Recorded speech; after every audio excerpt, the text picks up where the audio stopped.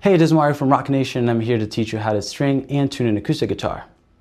The materials you're going to need are a guitar that's missing a string or two, pliers, and a tuner. Once you have all this set up, what you need to do is get the pliers. You need to take out all the strings that you don't want. For example, you... once you do that, you take out the string.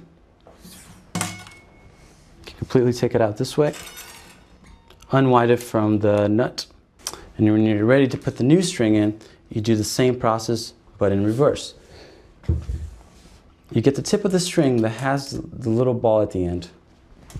You put it in the little hole right there, where the old one came from.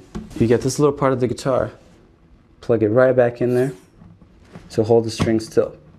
Once the string is still in there, you loop it through the hole here in the headstock, once the string is in, you can hold it like this and start tightening it.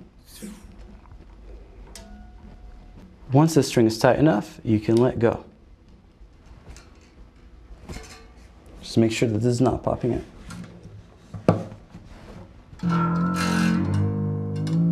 The next step is to get an electronic tuner, put it right in front of you, like so, on your lap, and play the string until it's in tune.